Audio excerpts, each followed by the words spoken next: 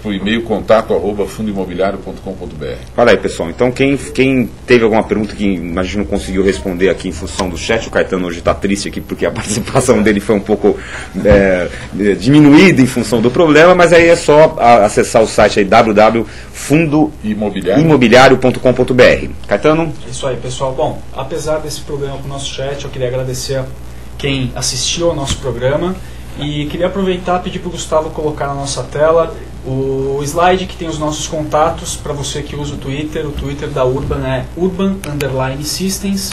Tem aí na tela para vocês também o nosso canal no YouTube, que é youtube.com barra Urban Systems. Nesse canal você pode assistir os vídeos anteriores, inclusive essa entrevista de hoje com o Sérgio, daqui cerca de uma semana vai estar nesse canal.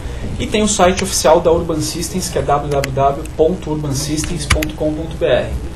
Desculpa mais uma vez pelo chat, pelo, pelo problema, mas eu acredito que na semana que vem a gente já esteja com isso normalizado e eu espero a participação de vocês. Obrigado.